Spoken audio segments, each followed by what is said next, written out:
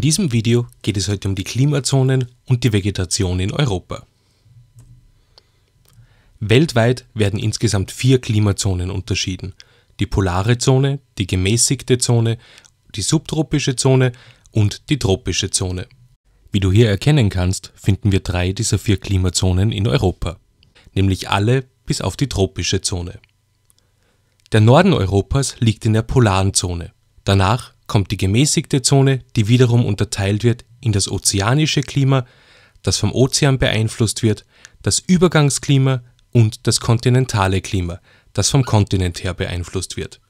Im Süden Europa finden wir die subtropische Zone. Auf dieser Karte rot eingezeichnet siehst du den Golfstrom.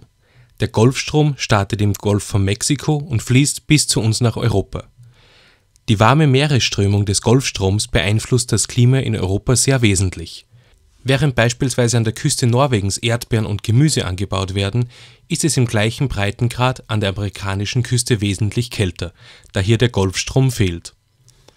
Würde der Golfstrom nun versiegen, würde das ganz wesentlich das Klima in Europa beeinflussen. Manche Forscher sprechen sogar von einer anbrechenden Eiszeit.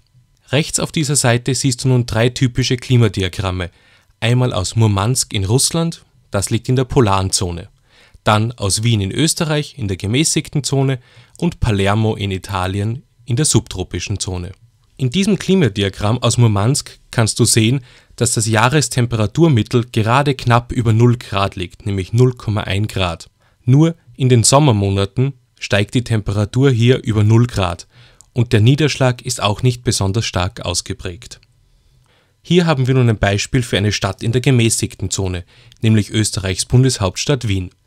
Hier beträgt das Jahresmittel bereits knappe 10 Grad und es fällt schon um einiges mehr Niederschlag als in der polaren Zone.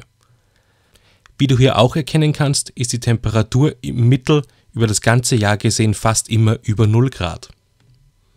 Hier noch ein Beispiel für eine Stadt in der subtropischen Zone, nämlich Palermo.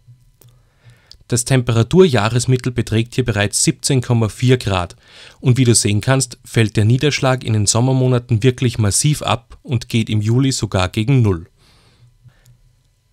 Die verschiedenen Klimazonen in Europa beeinflussen natürlich maßgeblich auch die Vegetation. Im Folgenden möchte ich dir nun die europäischen Vegetationszonen vorstellen, und zwar die Tundra, die Taiga, die Laub- und Mischwälder, die Steppe und die Zone der Hartlaubgewächse. Die Tundra befindet sich in der polaren Zone. Durch die flach einfallenden Sonnenstrahlen gibt es in der Tundra nur eine kurze Vegetationsperiode. Deshalb zeichnet sich die Tundra durch karge Landschaften aus, die meist nur von Moosen, Flechten und vereinzelt Gräsern bewachsen sind. Die Taiga liegt auch noch in der polaren Zone, allerdings an der Grenze zur gemäßigten Zone. Die Taiga ist der weltgrößte Nadelwaldgürtel und setzt sich hauptsächlich aus Fichten, Tannen und Lärchen zusammen. In der gemäßigten Zone finden wir dann die Laub- und Mischwälder. Diese bestehen vor allem aus Buchen, Eichen und Ahorn und natürlich auch Nadelbäumen.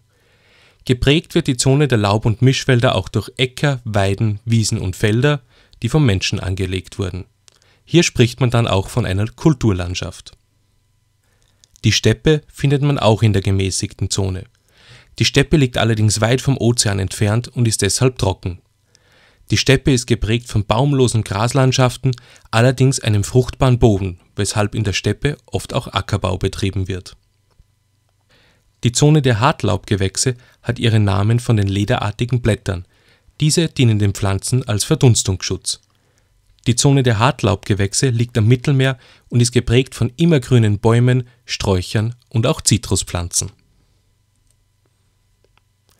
Diesen Hefteintrag schreibst du bitte wieder in dein Geografieheft. Die Begleitaufgaben findest du in der Videobeschreibung oder auf meinem Blog und wir sehen uns dann in der nächsten Geografiestunde.